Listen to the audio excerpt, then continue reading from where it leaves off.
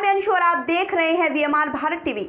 पावटा विराटनगर विधानसभा पूर्व विधायक फूलचंद भिंडा, जिला महामंत्री कैलाश ताखर व पावटा बालाजी मंडल अध्यक्ष प्रकाश राठी ने बिजली बिल माफ़ करने के लिए मुख्यमंत्री के नाम ज्ञापन लिखकर तहसीलदार अभिषेक सिंह को सौंपा। कोरोना वायरस वैश्विक महामारी कोविड 19 के कारण संपूर्ण भारतवर्ष में लॉकडाउन दिनांक 25 मार्च 2020 को केंद्र सरकार ने लागू कर दिया था, जिसके कारण मजदूर वर्ग अपनी आजीविका चलाने के लिए जहाँ पर गए थे, वहीं पर फंस रह गए। देखिए हमारी स्पेशल रिपोर्ट लॉकडाउन की वजह से लगभग सभी परेशानी के दौर से गुजरे, जिससे सभी का व्यापार, प्राइवेट नौकरियाँ आदि खत्म हो गए।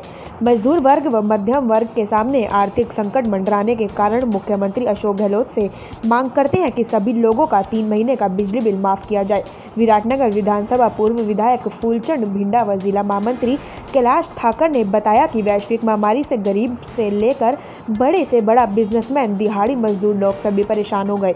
उनके सामने अपनी रोजी रोटी के लिए काफ़ी दिक्कत हुई। अतः उनके तीन महीने के बिजली बिल को माफ़ करके उन्हें राहत प्रदान की जाए। इस अवसर पर पावटा मंडल अध्यक्ष प्रकाश राठी, जिला महामंत्री कैलाश ठाकर, पुष्पर बंसल, मनोहर शेखावत आदि लोग उपस्थित रहे। हमारा ये मानना है कि पिछले चार महीने से जो कोरोना का प्रकोप है, उसके कारण से जनता त्रस्त है लॉकडाउन के कारण से बेरोजगार है, इस कारण से लोगों की जनता के जेब में पैसे नहीं है, और चुपचाप राजस्थान सरकार ने पाँच सौ प्रति बिल पर बढ़ा दिए।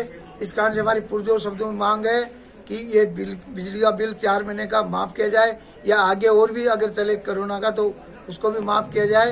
तो इस कारण से वो पाँच सौ रुपये भी और ये भी इस कारण से बिजली माफ़ करने के लिए हमारी पार्टी ने पूरे प्रदेश में एसडीएम कोर्ट, क्योंकि एसडीएम कोर्ट नहीं है, क्योंकि सब डिवीज़न तो कोटपुली है, लेकिन ये हेडक्वार्टर है पंचायत समिति का। इस कारण से हमने माननीय श्रीमान तहसीलदार जी को ज्ञापन दिया, मुख्यमंत्री को भेजने के लिए, और हम इसके लिए आगे भी संघर्ष करेंगे। पार्टी का जैसे जैसे आह्वान होगा, वैसा संघर्ष करेंगे।